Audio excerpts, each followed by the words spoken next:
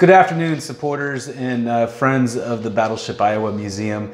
Um, I'm down by the uh, post office today on second deck, um, which we do have some of our add-on tours that go through this area. It's a rainy day outside at the uh, ship and a fairly slow uh, day. But with that being said, I want to address the uh, coronavirus, the COVID-19 update here on the ship. You may see an email that comes out from me um, today discussing what we're doing to uh, to try to prevent any kind of outbreak here. Um, and we're being uh, vigilant on what we do here aboard the ship.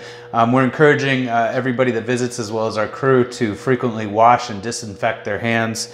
Um, we've increased our sanitation, uh, sanitization routine on frequently touched surfaces, including um, the bunks that the youth stay in on Friday and Saturday night.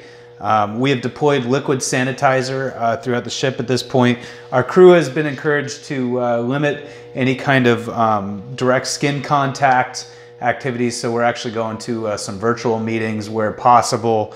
Um, our frontline staff that is dealing uh, directly with the public and currency transactions is uh, wearing protective gloves at this point. And of course, there's windows in front of them already um, to protect against any kind of exposure there. And uh, we've also requested, oh, as I mentioned, uh, limit in-person meetings and also to the limit the uh, possible direct skin contact. So we're going to do our best to, uh, um, to, to prevent any kind of outbreak here at the Battleship Iowa Museum and really pre um, prevent it and do a, a, routine to stay on top of this. Um, with that being said, uh, we of course can't uh, control anything uh, that we may try to try to control or prevent. There's always that possibility that exists, but if we can try to reduce the exposure, we're going to do so. Um, but what we are seeing is a, a direct result um, of reduced tourism. Uh, we've seen in the past week our attendance is flat to a little bit down right now. We've also seen some of the uh, overnight programs and events cancel on board the ship uh, in, in the interim, in the near term future.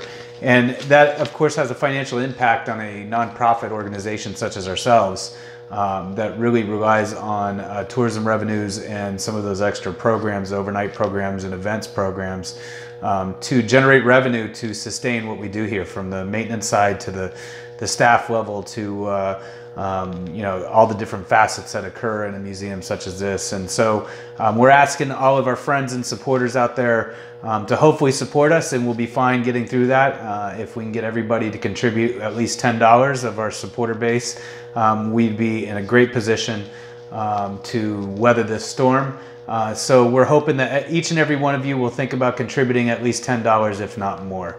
Um, with that being said, uh, you can do that on our website at pacificbattleship.com. There's a donate button on there, and you also find the donate button on one of our emails. We truly appreciate your support. Um, we appreciate your uh, you coming down and visiting and uh, ensuring that we all weather this uh, storm in the United States and across the world in the uh, best possible fashion and quickest way we possibly can. So, thank you Um, I wish you a, an amazing week and uh, look forward to talking to you next week.